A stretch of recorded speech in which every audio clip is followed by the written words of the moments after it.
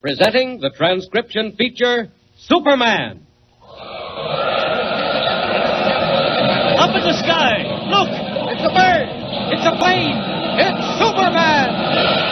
And now, Superman. When we last saw him, Superman, in his character of Clark Kent, was at the suburban hideaway of Dr. George Haven Beecham, world famous explorer, with Dr. Beecham and his daughter Elsie.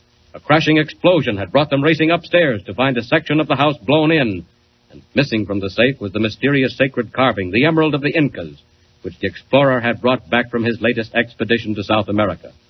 And rising in the moonlight above the trees beyond the house was the fantastic form of an autogyro. As our story continues today, several minutes have passed. Kent is about to leap from the window and follow the vanishing plane when a sudden cry from Elsie makes him turn. Oh, oh. What's the matter, Elsie? What is it? Oh, it's just my, my ankle. I, I think I turned it. Oh, here, take my arm, Miss Beecham. Or let, let me carry you back downstairs. I'm all right. Really, I am. Elsie, are you sure? I am, truly. Uh, My ankle's not even sprained. Well, Doctor, look. If Miss Beecham's really all right, I think it might be better if I tried to get one of the cars outside and follow that autogyro. Dad, he's right. Yes, yes, I don't know. I, I can't think. Doctor, they've got the emerald. If there's a chance of getting it back, How can you do it, Mr. Kent? You don't know which way they've gone. what do you think, Doctor? Which way would they go? It's hard to tell. They might be heading for water. We're almost on the sound. They may have a boat lying offshore. Good. I'll bet that's it. I'll take a car and follow them. Well, man, you can't possibly. They'll leave you behind in no time. No, they won't. An autogyro isn't fast. I may be able to catch them right away. I'm going after that plane. Why, Mr. Kent. Kent, what are you doing? You can't climb out that window. Oh, yes, I can. Why, Mr. Kent, you'll break your neck. No, I won't. So long. If I catch them, I'll find a telephone somewhere and let you know. Now then, one little jump and I'm down.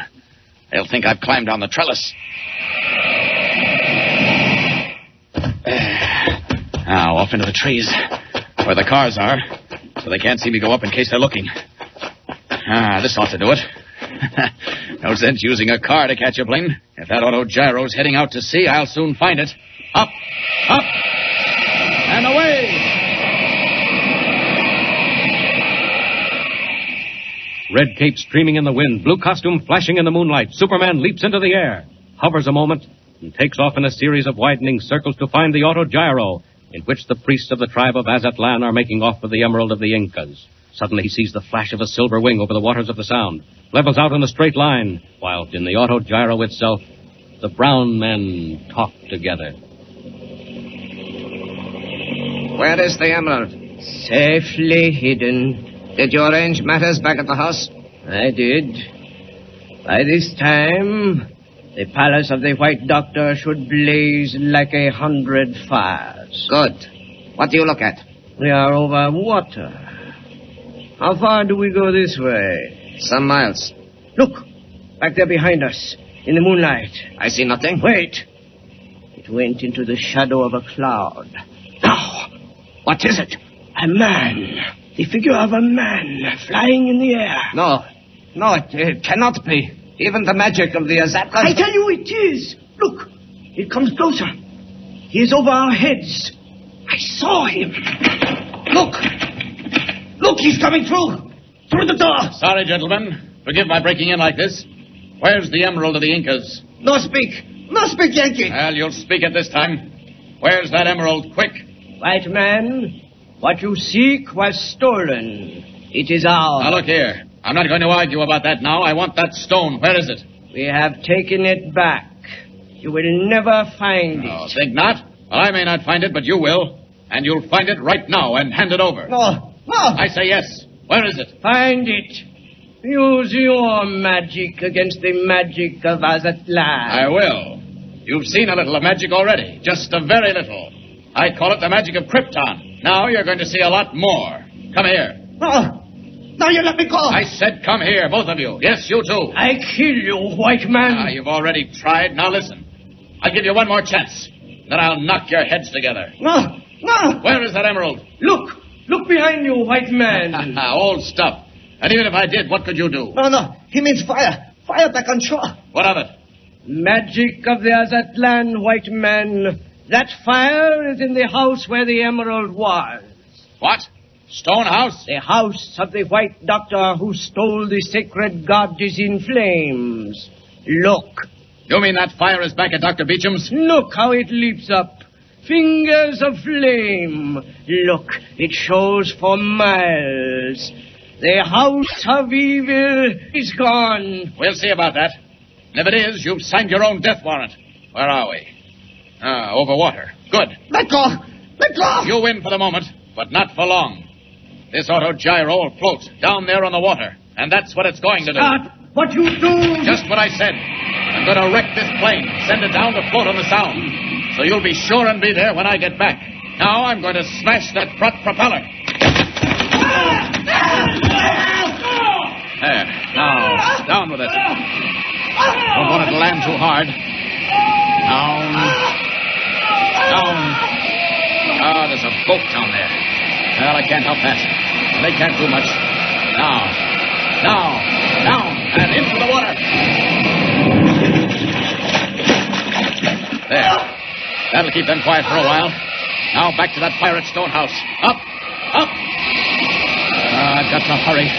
If they've caught Elsie and the doctor, I'll take care of them when I get back. Higher and faster. Faster. Back at Stonehouse, red flames lick hungrily at beams and walls, roar up into the night sky. Elsie and Dr. Beecham, having escaped in the nick of time from the blazing furnace, stand on the lawn stunned and unbelieving. Then suddenly Elsie remembers. Oh, Dad! Dad! Elsie, what is it? You're not hurt. Dad, I just remembered. Down in the cellar, that taxi driver. Oh, good heavens. Oh, Daddy never knew. He must have been trapped by the explosion. Then when the fire came, oh, Dad, he's down there now. He can't get out. Oh, the poor man. What can we do, Dad? Elsie, come back. We can't do a thing. Not till someone sees the blaze and calls the fire department. Dad, we must. We've got to get him out. Elsie, come back here. Come back. Come back, Miss Beecham. Where are you going? Why, Kent, where did you come from? Oh, Mr. Kent, quick, quickly. Why, Miss Beecham? What's wrong? That, that taxi driver, Eddie Hilly, he's Yes? still in the cellar. What? Oh, great Scott. I, I forgot all about him. Mr. Kent, do something. Get him out. Now, look. Stay here, both of you. I may be able to get in from the other side. Oh, Kent, be careful. Let me help. No, no, no. Uh, you stay where you are, Doctor. Look after Elsie. Now then. Seems to me there's a lot of work for Superman tonight. Oh, poor Hilly. That fire's got down to where he was. Well, here goes.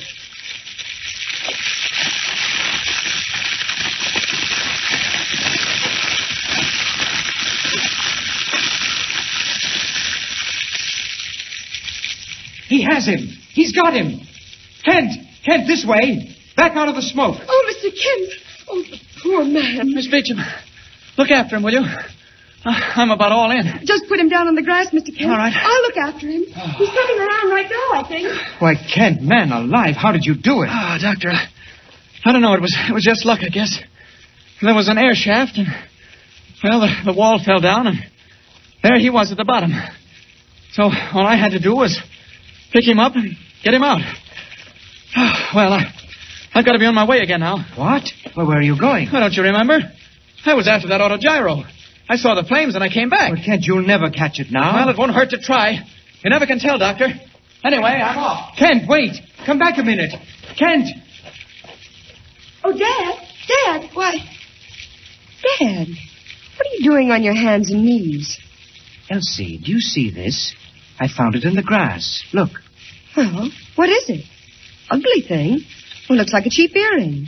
Elsie, that's a badge of office. It's an amulet, and it's worn only by the highest priests of the Azatlan. But, Dad, what of it? You don't understand. It's given them when they become priests. Magic power and all that. And it becomes a part of their very lives. But I. Why all the fuss? Well, don't you see, Elsie? One of those priests dropped it by accident.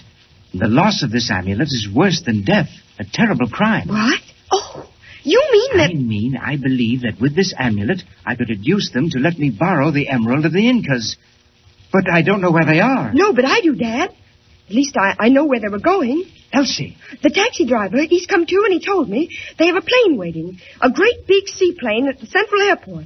Where's the car? Quick, Dad. Quick! A mad race against time. Can Doctor Beecham and Elsie make the airport before the priests of Azatlan take off in their high speed seaplane. And what of Superman out over the waters of the Sound? What will he find when he reaches the spot where the auto gyro hit the sea? Thrills, high excitement, unbelievable climax.